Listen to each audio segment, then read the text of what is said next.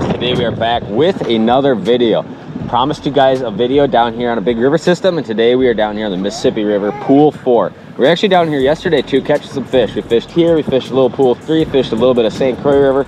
Ran the gauntlet yesterday, caught fish everywhere we went. Today it's nice and early out and we're gonna go up and fish kind of the uh, the the popular bite this time of year. Some of these high pressure areas, which is up at uh, kind of the lock and dam of Pool 4. Very well-known bite, and uh, we hope to kind of capitalize on that today and catch a lot of nice saugers and some walleyes is kind of the plan. And uh, we got out here nice and early. There's a chance of rain, a little bit of wind, but this bite is so good in the fall. It goes on. It's really just kind of getting going, and it's going to go for a while yet this fall and we really hope to kind of capitalize on that, catch a whole bunch of nice fish today. It is me, we got Surly, and we got Cody behind the camera right now. We're gonna run up river, find some fish, and uh, start casting. And we actually got kind of a secret new bait that I kind of want to show you guys and catch a couple of fish on today. Um, that's been working well. So stay tuned, let's get it going on. Let's catch some of these late fall river walleyes down here on the Mississippi River and Pool 4.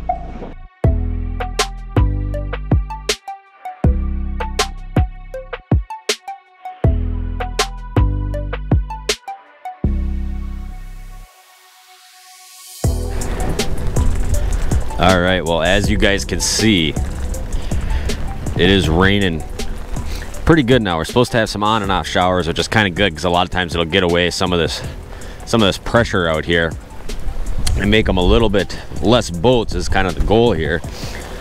And uh, river fishing, basically the way this whole system is working is in uh, in the fall as the water starts cooling you get this massive shad migration and baitfish migration that comes way back up river and uh, obviously a bunch of walleyes follow them so although this river will have walleyes in it there's resident fish all year long you'll get a whole bunch of fish coming back into it this time of year in the fall.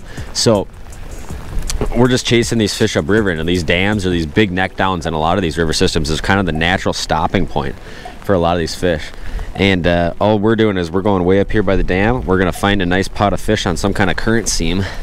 Kind of right there huh? Yeah, and and uh, a spot lock. Now one thing you'll see in river systems is that there's just gonna be a ton of fish like everywhere. You're just gonna have especially in these in these kind of situations this time of year you're just gonna see fish pretty much nonstop everywhere you're gonna go in these kind of uh, you know big bait fish funnel areas which are really popular and good spots in the fall and you can obviously see we got the dam right over here. There's already some boats on the other shore.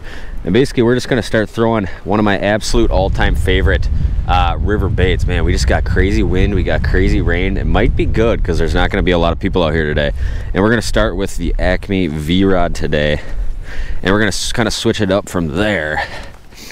And uh, I just kind of want to wait till it gets a little bit lighter to switch to my new bait. But uh, acme v-rod 3 eighths ounce in this kind of fiery crawl looking color absolute killer down here on any of these state river systems. Blade bait's always a good option in the fall and uh, guys shooting ducks all around right now. So so we're gonna get to fishing hopefully catch some nice saugers and walleyes today out here in the mississippi river.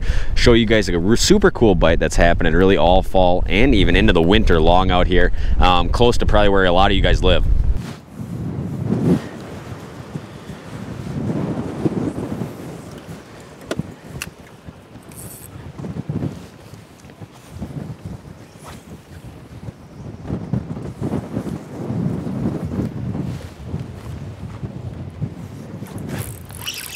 Right there, fish on. I think that's a nice sauger, Cody.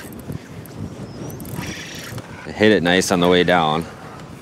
Oh man, these things are just angry up here in the current, man. Oh yeah, look at that. That's a nice walleye or sauger here. Man, these saugers up here and these walleyes, they fight so hard up here in the current. Nice walleye there to get things going. All right. Well, we got one, some kind of sucker. You guys will comment on what kind that is because I have no idea. Don't spend a ton of time sucker fishing on rivers or reading fish biology books on rivers, do you, Cody? But you know, we've only made three, four casts so far. This wind out here is going to be just absolutely horrendous. But you know, there we go. Just a beautiful river walleye to get things going on the 3 8 ounce V rod he popped it pretty good on the fall. These fish are real aggressive, real super, super healthy. Walleyes were kind of the minority yesterday, a lot of saugers, but you know, have not been fishing for long here. And we're already catching fish, which is a good sign.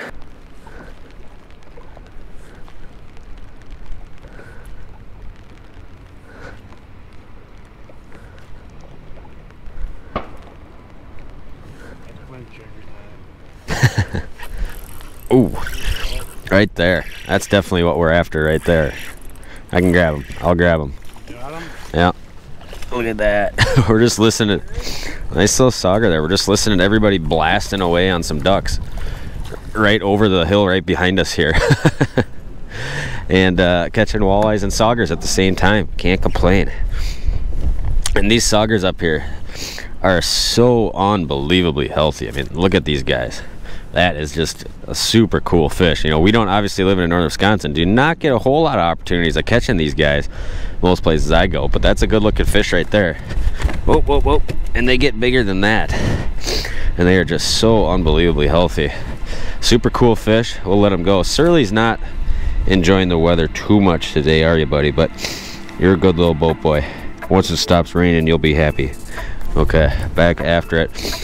On the blade bait that one trapped at the bottom. You know some of these fish are popping it real hard and aggressive on the way down. Other ones are just kind of you're lifted up and you got them just kind of like that one but we'll take them anyway they want to bite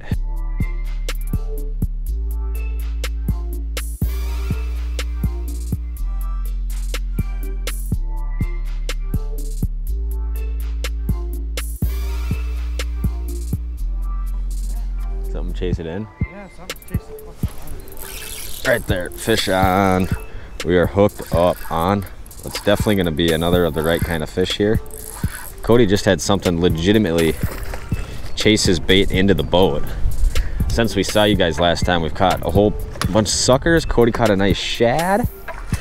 And uh, there's another nice sauger right there. And man this bite is just so fun to do up here at the dam you get all these fish piling up here and it's just kind of matter of, you know, getting in front of those fish and kind of picking kind of the right presentation. Obviously, like most situations, there's a few different ways, you know, you can fish to catch fish. And look how that guy bit. He just, they're kind of trapping it to the bottom. They kind of seem just like they're moving a little bit slower right away this morning.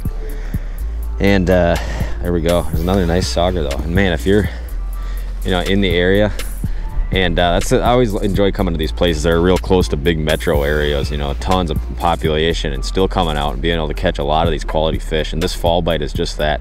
Tons of these nice eater saugers and walleyes and the opportunity to catch a big fish all right here piling up river by a lot of these dams and neck downs. This is just kind of a classic situation you have happening on a lot of river systems this time of year especially once you get water temps sub kind of 55 a lot of this bait coming back up river in a lot of these systems. In this scenario, they're filtering out of a like Lake Pepin, but it might just be a big river system that you're fishing that has a big neck down funnel. And a lot of times the bait really concentrates in those spots late in the fall.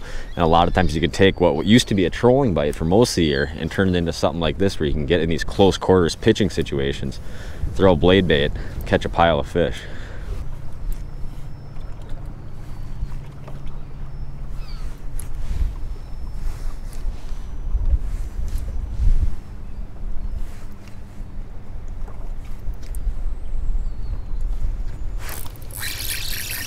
Hooked up right there. Fish on, Cody. Feels like probably not a walleye, but maybe. What do you think?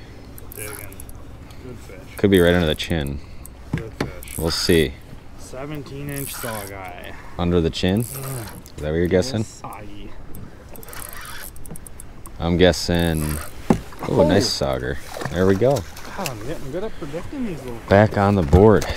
Well, I'm not sure how much audio you guys had from that last clip, but it's been a little while here since we've caught a nice one. There we go. There's another real nice one. Just got a pile of boats around us right now.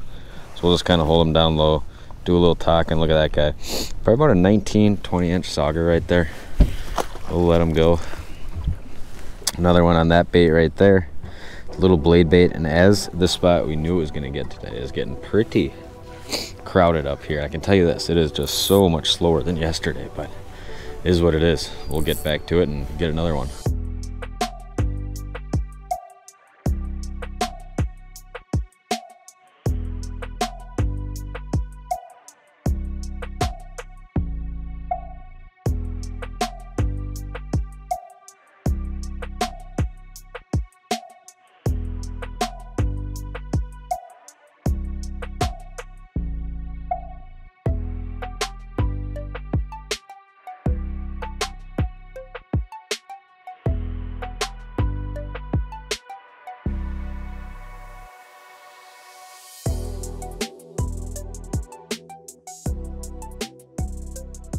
All right, you guys just saw me catch that nice fish. And that is on a brand new bait I'll show you here in a second. We're keeping the camera real low because there's just so many boats out here.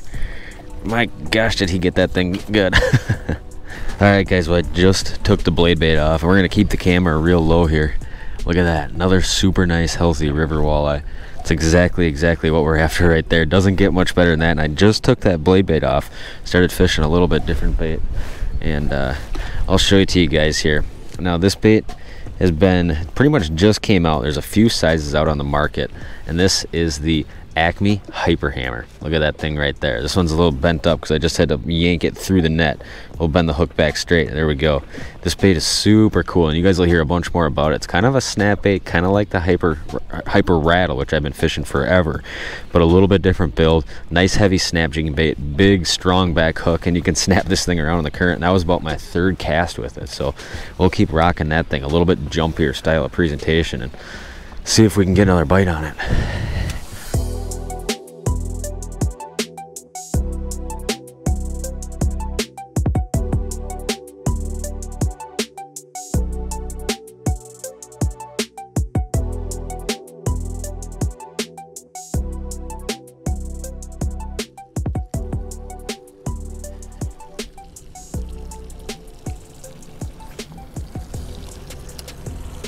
Oh, Cody's got one hooked up. That looks good, dude, doesn't it?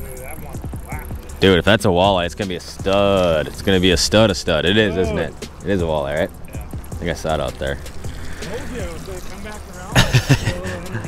yeah, we just, I was worried we had a whole bunch of corrupt footage, so we went and dropped cameras off, plugged them in quick at the truck, made sure the footage was not corrupt, hit a little spot on the way out. Look at that. Look at that. Cody snap jigging some walleyes. And when they bite, they are ferocious. So as you guys can tell, we're away, actually away from the dam. We're a little farther downstream right now. We're just fishing kind of a wing dam apparatus type of deal. Yeah, absolutely. Wolf that. And what'd you have on there? Little Kalin's Jerk Minnow Jr.? There we go. Another awesome walleye. Chunky one here. Did You see they're super healthy out here. Caught this one on a Kalin's Jerk Minnow Jr. Awesome bait here in the fall. I absolutely love it. Whether I'm fishing a lake, river, those are awesome baits. Snapping them around. Probably the, my favorite way to catch walleyes. Snap jigging, shallow wing dams, ton of fun. Well, we'll see if there's a few more here, I guess. All right, what kind of baits are we using? We're using a bunch of different baits. That's because river fishing, there's a lot of just this junk fishing where each situation might be different. And, you know, you can fish any kind of bait in this kind of depth zones in these situations. But, you know, kind of the confidence baits, which we're rotating through, you know, number one, the blade bait. And this is the Acme V Rod in a 3 8 ounce and kind of this Fire Tiger, Fire Craw type, type of color. Awesome bait. Have a ton of success on this bait really all season long on the river systems. Blade bait's very good. Anytime you're fishing in cooler water temps, one of my absolute favorite baits right here, spring or fall. The other bait, which I caught a couple fish on yesterday and a fish on today while we were still up to dam, is a brand new bait. And this is the Acme Hyper Hammer. This is in the bigger size. It's going to come out in a few sizes. I'll link them down below. I get your hands on some if you can. And uh, I think they're coming out with a few ice fishing sizes, then the bigger sizes. This is one of the bigger sizes right here. It's got a rotating pin in there that makes some noise. It's also got the the knocking eyes that the Google Eye jig has. But it's kind of like a uh, like a um, what's the word I'm looking for, Cody? Kind of like it's, it's in that category of the hyper glides, the hyper rattles, and your um, you know your jigging Raps, your shiver minnows. The different part about this, much bigger tail end hook on the bigger sizes, much beefier, and it's got a flexible silicone tail, so you can never break this. You can get some different colors for it. It can rotate around for some different action. Normally I leave it like this, but it cannot break, and it never comes off of that thing. So it's pretty much indestructible, and it's a bigger, beefier bait. And the way I'm fishing this, just pitching it out, I'm just kind of popping it, just doing single pops. Amazing bait to fish in current or deeper water because it weighs almost a full ounce, very heavy, and gets you down, it cuts a lot of current. Now, the second we switched down to fishing some of these shallower wing dam areas, Cody started fishing the quarter ounce Google Eye and just your Jerk Minnow Junior and a white, and that hasn't 100% been the deal. These two baits, not great baits when you're fishing in two feet of water. This bait good bait in two feet of water. so that's why we're using that. And uh, I started with a swim bait. Cody started fishing this. These the fish up here are obviously feeding on shad. You know, they push up out of Pepin. The, the shad, there's just busting all over anytime you get around a good piece of structure, whether that's up at the dam, some shallow points, some shallow riprap. And that's kind of really, you know, what these fish are really feeding on. I think that thing really just mimics a shad. You can just imagine this thing kind of drifting down in the current, kind of running sideways as we're snap jigging it up and really mimics a shad really well. So those are kind of three presentations we're having luck on. You know, you could probably fish a jig in a minnow and have luck as well. The one thing it seems to be though is that you know, if you're doing static presentations, there's so much bait in this river right now that if you're doing something like this, it's just not getting bit because it's just too slow and they're just, these fish are surrounded by bait. So, you know, adding something like a little bit snappier, whether you're fishing the V-Rod, a blade bait and going like that, getting that bait to jump, or that hyper hammer and doing something that looks like this, or this plastic. It seems like something kind of jerky and twitchy is what you need to kind of, you know, those fish can kind of pick that out in a huge ball of shad that are all just kind of sitting there swimming. So these are definitely the baits that uh, you know we're having a lot of success on down here on the Mississippi River today.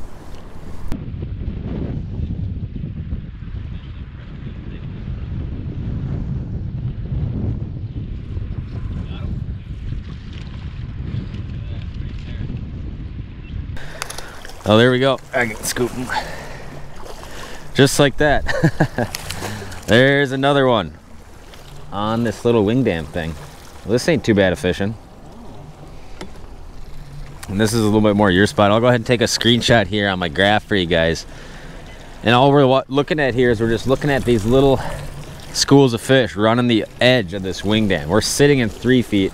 Is that one there? Nice little eater walleye. Yep, tons of those size fish in this system right now. And we're just kind of picking them off. And uh, real shallow. You can kind of see how the current's kind of boiling and rolling behind us. This wing dam current's coming like this. Kind of runs up like this and it's just kind of creating that eddy, especially because we got the wind coming from the south today. And uh, that one pounded too. Yeah. Just pounded it. Well, I can't catch a fish down here, but you can't catch a fish at the dam. Yeah. I can catch little fish up there. You can, you can catch little fish at the dam.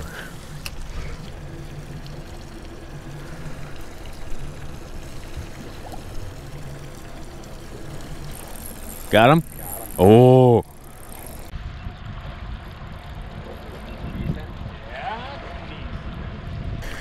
There we go. Another fish on. Cody's clocking him in here. He's got the cast. He's got the action. He's got the lure. He's got the mojo.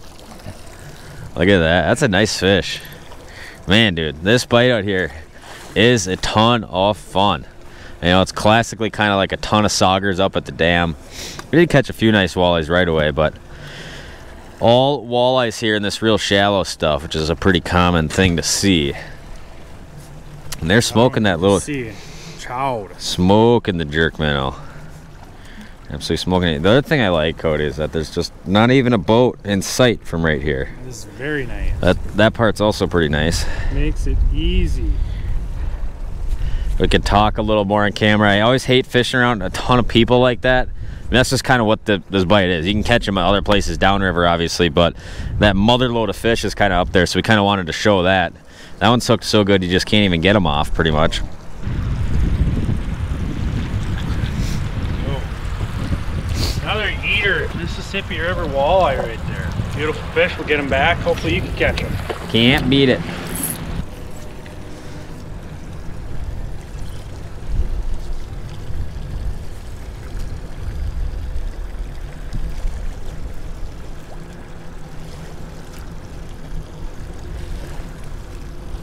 Fish? Oh, he's on him out there. He's on him. Getting it done. Good walleye bite? What is that thing? Guy thinks it's a white bass. Huh? Just running in the current.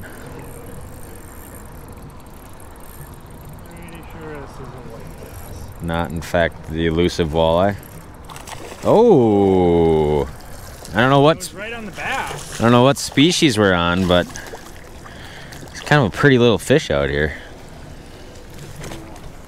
Oh, there he goes. Not as brown as the ones that we're seeing up No, he's kind of a green brown bass, isn't he? Beauty. There we go. A little bit of everything in the river systems. It's kind of what makes these bodies of water cool. And this time of year, they're all eating shad. Uh, I just restarted it. Did it jump? Yeah, Is it? Must just be a. you. like way up, yeah, way up. Oh, we just let that last smallmouth go, and I'm pretty sure Cody's got another big. It is a walleye? It is a walleye. Oh, that's a really nice one. There we go.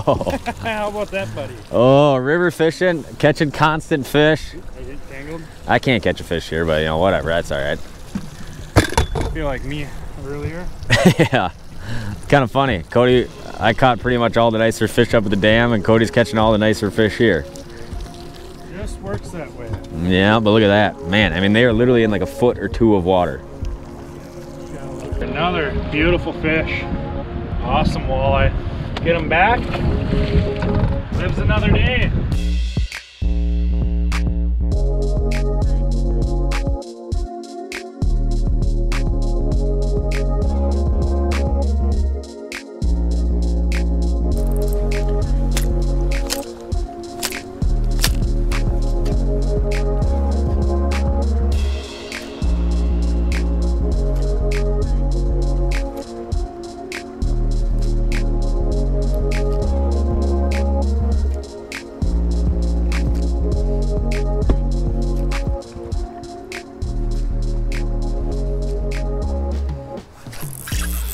Right there. Tommy! Tell you guys what, Tommy! I finally quit throwing my stupid swim bait, and for whatever reason, they don't want the swim bait. What they really want is the Really eat it that yeah, real soft pop, a real soft pop, just floating it over this little wing dam thing here. And there we go. There's another one. And just these fish are just so unbelievably whoa healthy and angry in the river. I know that's kind of what it's known for, but I mean, man, any lake where you see tiny head, big body, super healthy, fast growing fish, and we're just catching a pile of them today. I mean, look at that. Another beautiful walleye right there.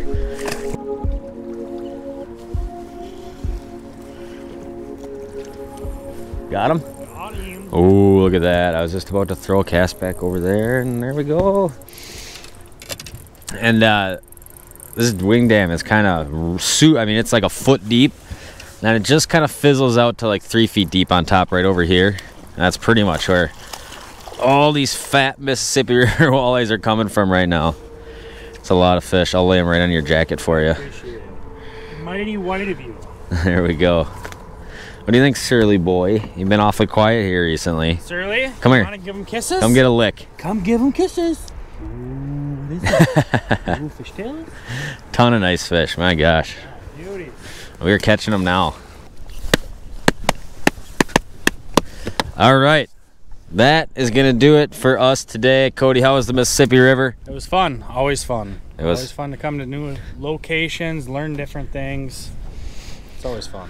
Yeah, you know, most of the time we spend every single day on these deep, cleared, natural lakes catching walleyes, and there, you know, it's just kind of gets pretty routine. River is a great way to mix it up, and it has great opportunities really all fall. Spring and fall, generally always great on the river system. And uh, if you guys are really coming to any river system, these tips should help put you on fish and put more fish in the boat. So I appreciate you guys watching this, and uh, no idea where we're going to be next. You got any idea? You got any places you're like end of the year, like, oh, I really want to go do that? Northern Minnesota again. Northern Minnesota again. I wouldn't mind trolling feel some. like we're always up there though. I know. I wouldn't mind trolling some trout like on Lake Superior or something. Some cohos and browns or something. That'd be kind of a fun little mix. Maybe we'll make it out to Montana. Maybe Fort Peck possibly. You're thinking boat? about thinking about trip? thinking about picking up the boat, newer boat, and going out there. We'll see. But uh, I appreciate you guys watching this video. It's been a lot of fun down here in the river. We're gonna wrap it up right here. Get out of here. Drive a couple hours back north. But I appreciate you guys watching this. Stay tuned for more content, and we'll see you next time.